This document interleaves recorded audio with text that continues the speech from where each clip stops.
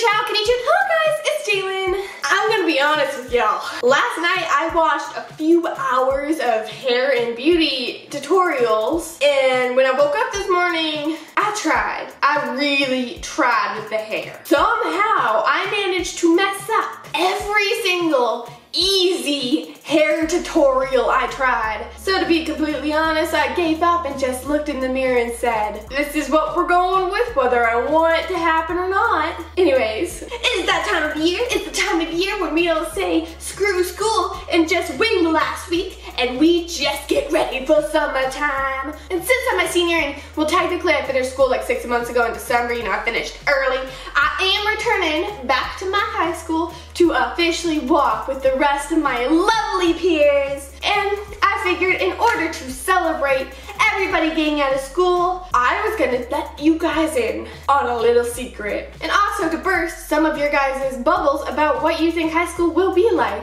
Okay class, tonight's assignment is nothing. No homework, go and have a blast. Okay class, so today's assignment is super duper easy. All you have to do is read from chapter 5 to chapter 40, that's 35 chapters.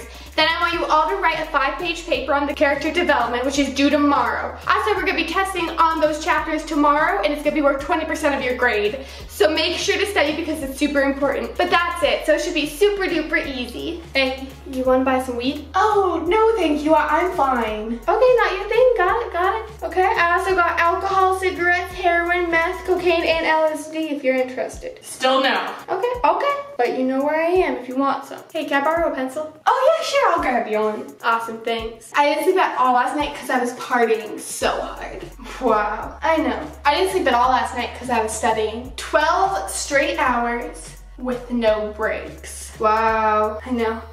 I'm crazy woman. Damn, that boy's gorgeous. Yeah, he's almost as sexy as One Direction. Almost as sexy as, no, no, no, no, no. That boy puts them to shame. I would do things to that boy like you wouldn't believe.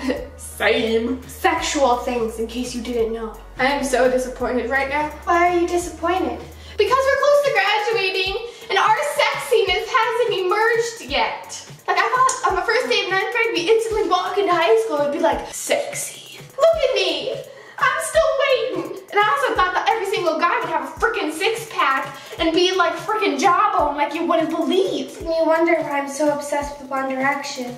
The boys at our school were actually sexy. I don't think I need to build a shrine in my bedroom to them. I will no longer judge you for how much you love One Direction. Oh my god, this test is so easy. I totally understand what I'm doing. What the hell's that? Ugh. I didn't learn this.